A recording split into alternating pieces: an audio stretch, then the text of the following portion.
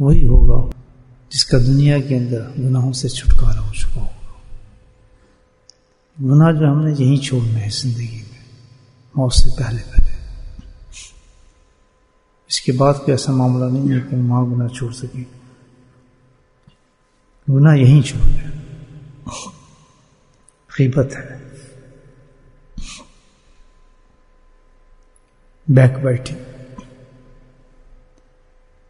سارے گناہ گندے ہیں، لیکن یہ بڑا غلیظ گناہ ہے۔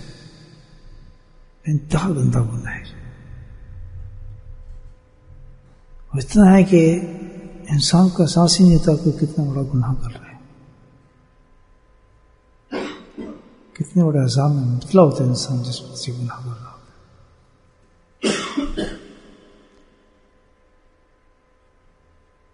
آخر اس گناہ سے ہم کیسے چھٹکارا حاصل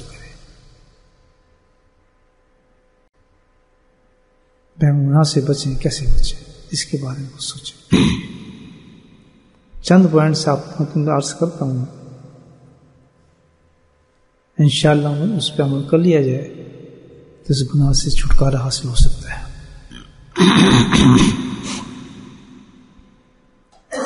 سب سے پہلی چیز ہے، اس گناہ سے نجات حاصل کرنے کے لیے غیبت سے۔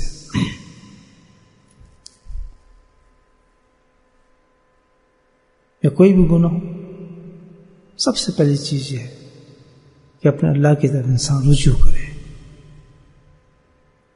اور اللہ سے استدا کرے، دعا کرے نفیل پک دعا کرے۔ اللہ پاک، یہ غلیظ گناہ ہے، میں اس سے چھٹکارا حاصل کرنا چاہتا ہوں۔ نہایت کمزور ہوں ماحول خراب ہے۔ تو بجس تیری رحمت اور معاونت کے، تیری مدد کے میں اس گناہ کو چھوڑنا مشکل ہے میرے لیے۔ سب سے بڑی چیز ہے۔ کیونکہ اس میں کیا ہے کہ ہم نے ارادہ کیا ہے گناہ چھوڑنے کا۔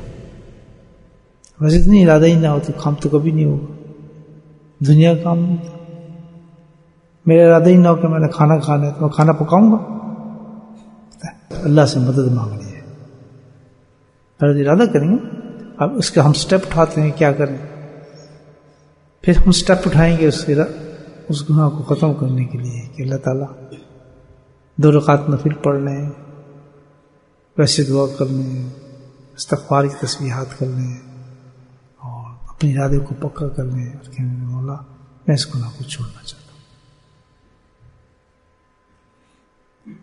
اس سے یہ ہوگا الحمد للہ کہ اللہ سبحانہ تعالیٰ کی مدد آنا شروع ہو جائے گی۔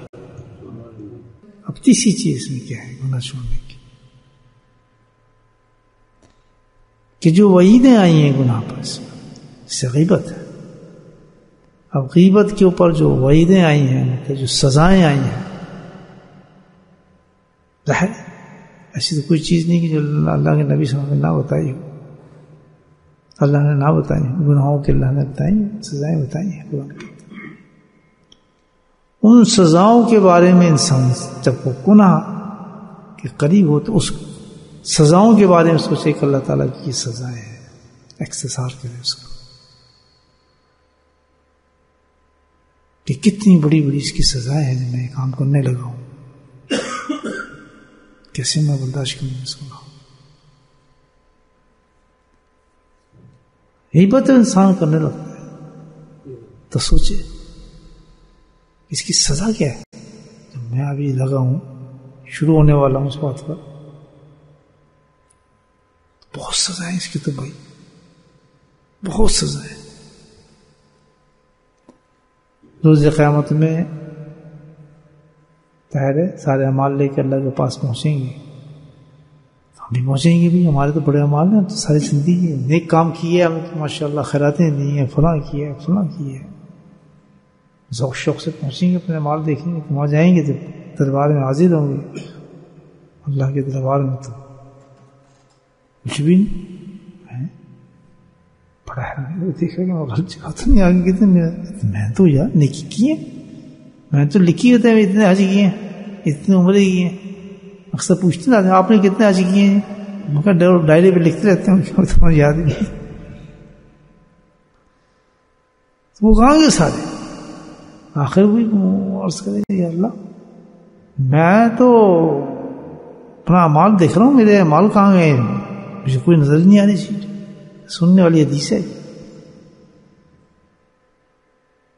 اللہ تعالیٰ کہے گا ہاں تمہیں مجھے پتہ ہے فرشتے جانتے ہیں تم نے بڑے عمل کیے ہیں بہت انتہا تو, تو دنیا مشہور تھا بڑا متقی ہے بڑا عبادت گزار ہے بڑا حاجی ہے بڑا حاضی ہے میرے وہ مال کہاں گئے تیرے مال تو غائب تم کرتی خود ہی کیے ہم نے تو نہیں کیا کیا میں نے کیسے کر دی؟ تم نے کیسے کر دی تو غیبت کرتا تھا تو تیرے مال ختم ہو گئے سارے۔ تیری غیبت نے تیرے سارے امالوں کو ختم کر دیا، کچھ بھی تیرے پاس نہیں۔ فرشتوں کو حکم دیا جائے گا، اس کو پکڑو اور اس کو جہنم میں پھینک دو۔ اور اس غیبت کی سزا دو، اس کو جس نے کی۔ اور کرنے والا، سننے والا، دونوں برابر حدیث بات اسی سن۔ جو غیبتیں سنتا ہے ایسے میں کرتا تھوڑے ہیں سنا ہو گیا۔ کیونکہ وہ ایک نمبر ایک، اس کی سزا کو ایسی کمپنی میں بیٹھتا ہے جہاں جیسی بکواس بازی ہوتی ہے۔ اس کو کہا کس نے؟ تم جا کے بیٹھ وہاں بیٹھ کے تو صرف کرنے سے نہیں ہمیں پرہیز کرنا، بلکہ کیا ہے؟ سننے سے بھی پرہیز کرنا ہے، اور سننے کے لیے یہ ہے کہ اگر آپ کہیں پھنس گئے ہیں، سب سے پہلے بات تو یہ کریں، اس کو روکنے کی کوشش کی، یار، چھوڑیں کوئی اور ٹاپک بات کو گول کریں۔ کسی اور ٹاپک کو چھیڑ دیں۔ کہاں یا اس کا کیا ہوا، فلاں وہ کیا کرا تھا، آدمی اس نے کیا کیا تھا۔ آج کل تو یا بڑی سردی ہے، فلاں ٹاپک کو چینج تاکہ وہ رخ مورے۔ اور ہم بچیں سننے سے۔ اور ہمت ہے تو صاف ہی کہتے ہیں تو بہت بڑا گن آپ کر رہے ہیں، مجھے محروس کر رہے ہیں۔ اور تیسری حالت یہ ہے کہ فوراً اٹھ جائیں وہاں سے۔ لیکن ہم تینوں اس لیے نہیں کرتے کہ یا آدمی ناراض ہو جائے گا، اللہ کو ناراض کر رہے ہیں، خود جہنم میں پہنچ رہے ہیں۔ یہ میرا چاچا ناراض ہو جائے گا میرا فلاں ناراض ہو جائے گا میرا استاد صاحب ناراض ہو جائیں گے، فلاں صاحب ناراض ہوں گے۔ یہ کون کہتے ہیں اٹھ کے چلے آگے نا چیز، سب سے پہلے کیا چیز ہے؟ ارادہ۔ جان چھڑاؤں اس سے تو بہت بڑی چیز ہے۔ نمبر دو کیا ہے؟ اللہ سے مدد۔ وہاں اللہ تعالیٰ میں چھوڑنا چاہتا ہوں۔ تیسری چیز کیا ہے؟ جو اس کی سزائیں ہیں، اس کو ہر وقت یاد رکھ کے سامنے آدمی کس کی، یہ جو گناہ اس کی تو سزا اتنی سخت بنا ہے کیسے برداشت کر سکتا